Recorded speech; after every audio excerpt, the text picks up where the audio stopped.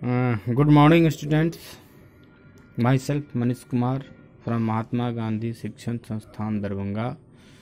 Dear student, today we are studying social science, class 5, chapter 4, and today we are discussing about this chapters what we had what we had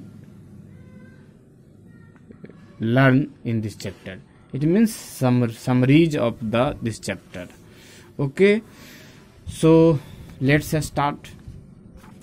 First of all here is written the average here is written the average weather condition of a place over a long period of time and over a large area is called climate. It means in previous video we had discussed about the climate. We all know that. What is climate? We say that we can say that the climate is the average weather condition of a place over a long period of a time and over a large area is called climate. Clear? Next the factors that influence the climate of a place are the factors. Any place who has affected by the some important factors. So we say that the climate of india is also affected so many so many things. There are they are distance from the place from the equator. First factors. Okay? Altitude. Second factor. Distance of a place from the sea. This it is third factor. Direction of wind. It is, it is fourth factor. Temperature. It is fifth. Temperature level of humidity and the amount of rainfall it receive. In simple word साधारण शब्दों में इसको समझें कि अगर हम जहाँ रह रहे हैं, यानी हम जिस स्थान पर हैं, वहाँ की जलवायु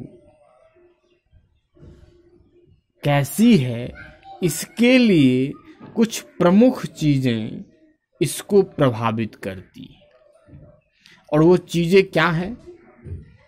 तो सबसे पहला, कि हम लोग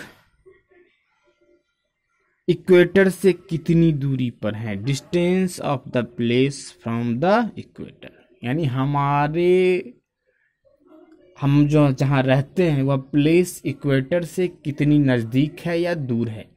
पहला एल्टीट्यूड हम कितनी ऊंचाई पर हैं?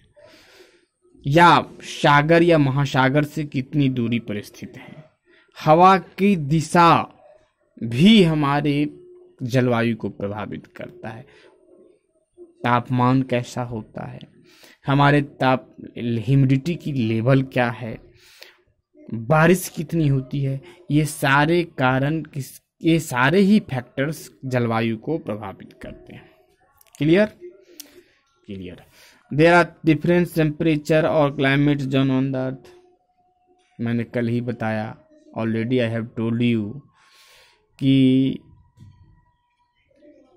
कई सारे क्लाइमेटिक जोन्स बने हुए हैं। जैसे ये पिक्चर कल मैंने दिखाया था। इसमें टॉरिड जोन टेम्परेट जोन ये और ये टेम्परेट जोन ऊपर वाले और ये नीचे वाले फ्रिज जोन सो कई सारे जोन में बचे हुए हैं। अब टॉरिड जोन एक्सटेंड फ्रॉम ये टॉरिड जोन कहाँ से कहाँ तक फैला हुआ है? ये इक्वेटर ट्रॉपिक ऑफ़ कैंसर से लेकर ट्रॉपिक ऑफ़ कैंसर से लेकर के ट्रॉपिक ऑफ़ कैपिकॉर्न के बीच में वो टॉरिड जोन है।